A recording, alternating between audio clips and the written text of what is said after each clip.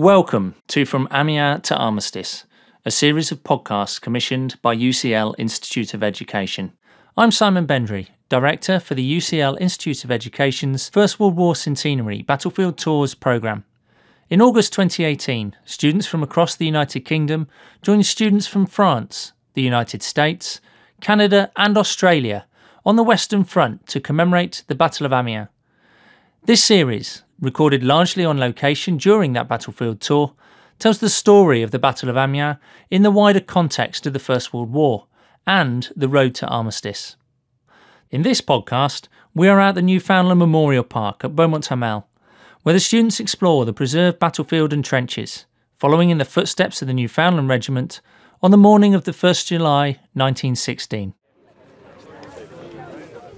Hello everyone, my name is Jenna. I'm one of the guides that works here at Beaumont Hamel. I'm one of 17 Canadian students working over in France for four months.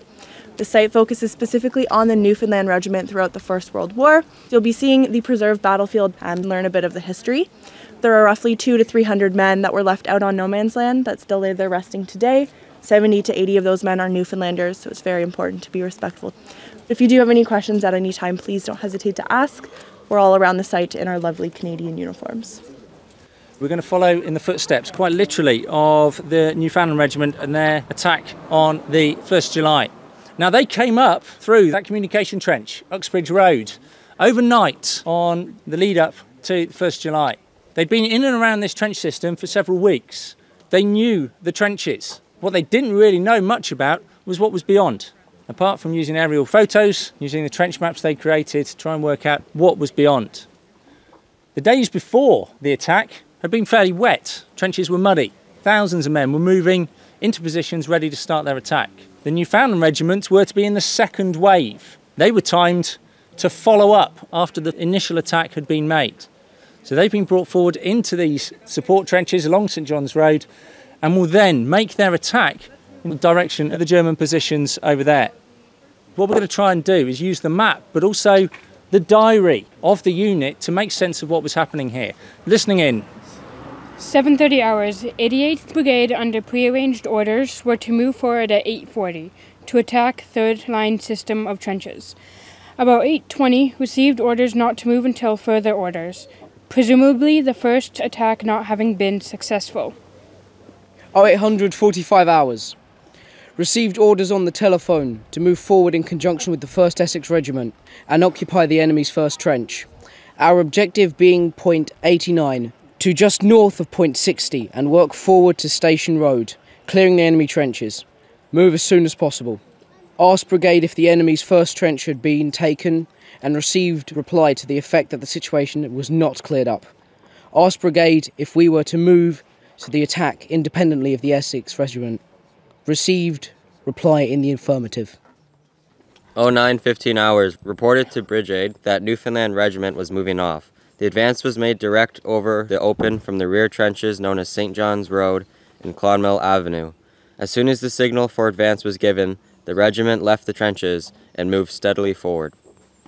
Machine gun fire from our right front was at once opened on us, and then artillery fire also. The distance from our objective varied from 650 to 900 yards. The enemy's fire was effective from the outset, but the heaviest casualties occurred on passing through the gaps in our front wire, where the men were mown down in heaps. 0945 hours. The CO reported personally at Brigade Battle HQ 100 yards behind our firing line that the attack had failed. Shortly afterwards, the enemy opened an intense bombardment of our trenches with heavy artillery, which was kept up for some time. During the night and evening, unwounded soldiers managed to crawl back to our own lines, and by the next morning, some 68 had answered their names. 801 attacked at 9 o'clock on the morning of the 1st July. 68 out of 801 answer the roll call the following morning. This is what General de Lisle the divisional commanding officer wrote It was a magnificent display of trained and disciplined valour, and its assault only failed of success because dead men cannot advance anymore. This petrified preserved tree here is called the Danger Tree. It was a feature of the battlefield and no man's land in 1916. It was a ranging point for the German machine guns. And the records suggest that not a single member of the Newfoundland Regiment moved beyond that point on the morning of the 1st July.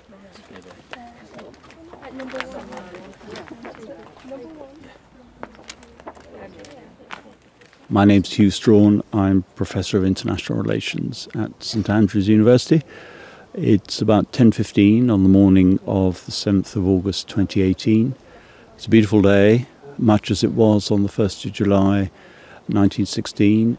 I'm standing at the bottom of what is now defined as Newfoundland Park, of the area at Beaumont Hamel over which the Newfoundland Regiment launched what was the second attack of that morning, the first attack having failed. And just behind me, I'm looking up towards the Caribou Memorial, behind me are the German lines as they were in July 1916, with Y Ravine, as it was called, uh, the furthest point of the advance in the five months of fighting in 1916. It's a deep ravine, not visible even from here, and certainly not visible from the ground as you were attacking on the 1st July 1916, but providing protection, of course, for the German soldiers that occupied it, both from observation and very often from artillery fire landscape on the Somme is a series of rolling hills with much ground hidden from immediate observation, but at the same time with no really dominant positions. It had been held by the Germans since 1914, well fortified since 1914. As you approach this particular sector, much of what you're going to confront is hidden in immediate terms because of that rolling landscape, but then suddenly becomes evident and exposed when you breast a ridge. So as you come on to the Beaumont Hamel sector, which is where we are, you see very little to begin with, then suddenly it's wide open. And of course, it was wide open to German defensive fire, to those machine guns that had been positioned for some time, and even more importantly, to the artillery behind them, both of which had had time to prepare their lines and fields of fire.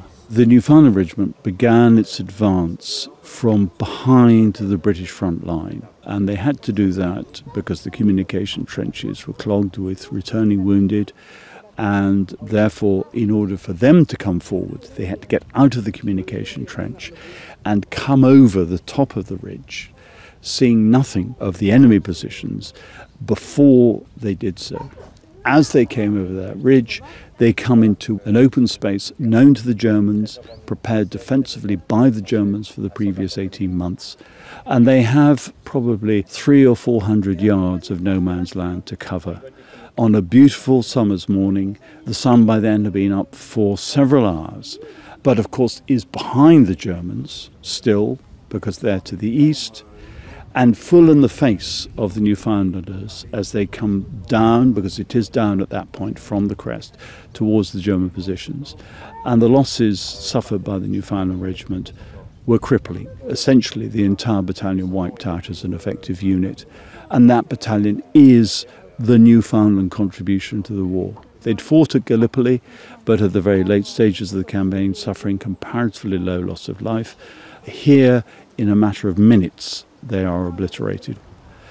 This position will not actually be taken until the very end of the Somme battles in November 1916 when the 51st Highland Division take this ground. So this is a cemetery occupied very largely by the dead from Newfoundland and the dead of the 51st Highland Division.